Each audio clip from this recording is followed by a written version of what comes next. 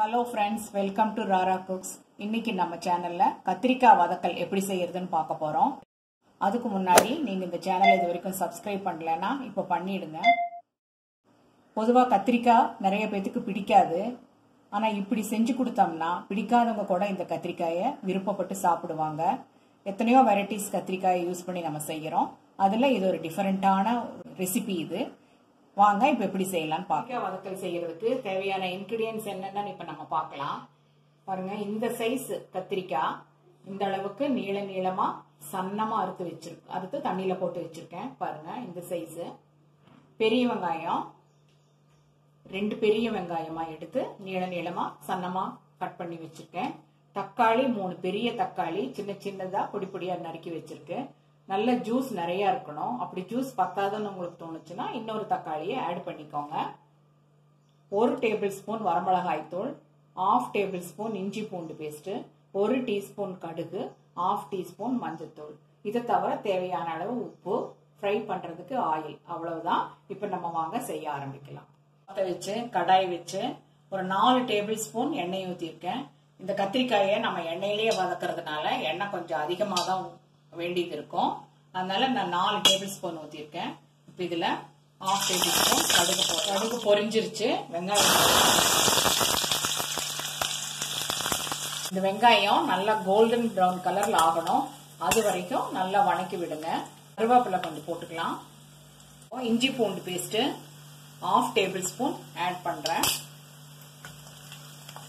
அதையும் சேர்த்து நல்லா ஃப்ரை பண்ணலாம்.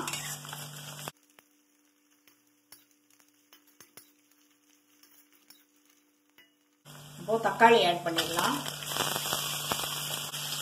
வெங்காயம் மாதிரியே இந்த தக்காளியும் நல்லா ஃப்ரை ஆகணும். இப்போ உப்பு கொஞ்சம் போட்டுடலாம். உப்பு போட்டா தக்காளி சீக்கிரம் வதங்கிடும். அதனால கொஞ்சமா இந்த தக்காளி கலவை நான் உப்பு ஆட் பண்ணியிருக்கேன்.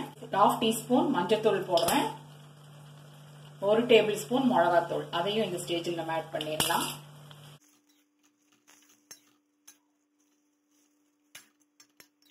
பாருங்க இப்போ எண்ணெயெல்லாம் நல்லா பிரிஞ்சு வந்துருச்சு.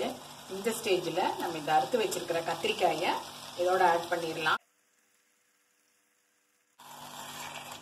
நல்லா கலக்கி விடுங்க. இந்த கத்திரிக்காய் வந்து இந்த தக்காளி ஜூஸ்லயே வேகணும். நாம இது கூட தண்ணி எல்லாம் சேர்க்க போறது இல்ல இந்த தக்காளியில் இருக்கிற ஜூஸ்லயே இந்த அதுலயும் ஆயில்லையுமே இந்த கத்திரிக்காய் நல்லா வதங்கிடணும். இதுல நம்ம இப்ப தேவையான அளவு உப்பு சேர்த்திடலாம். முதலையே கொஞ்சம் போட்டிருக்கோம். அதனால அளவா போடுங்க. போட்டு நல்லா கலக்கி விட்டுட்டு ஸ்டவ்வை கொஞ்சம் மீடியம் ஃப்ளேம்ல வச்சுக்கோங்க. அடிக்கடி இதை எடுத்து கலக்கி விட்டுட்டே இருக்கணும். இது ஃபைவ் டு டென் மினிட்ஸ் இது ஆகும். இது கத்திரிக்காய் நல்லா வதங்கி வர்றதுக்கு. இது மறுபடியும் ஒரு தடவை நல்லா கிளறி விட்டு மூடி வச்சிடலாம். கொஞ்ச நேரம் ஆகட்டும். என்னாச்சுன்னு பார்க்கலாம். நல்லா வதங்கிருச்சு. எண்ணெயெல்லாம் நல்லா பிரிஞ்சு வந்து நல்லா நிற்குது பாருங்க. அவ்வளோதான் வதக்கல் ரெடி ஆயிடுச்சு. ஸ்டவ் ஆஃப் பண்ணிடலாம்.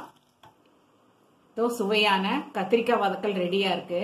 இதை நீங்க சாதத்தோட பிசைஞ்சு சாப்பிடலாம். பொரியலாவும் யூஸ் பண்ணிக்கலாம். ஒரு டூ டேஸ் ஸ்டோர் பண்ணி வச்சு கூட நீங்க சாப்பிடலாம். தண்ணி எல்லாம் எதுவுமே சேர்க்காததுனால நல்லா ஸ்டோர் பண்ணி வச்சுக்கலாம்.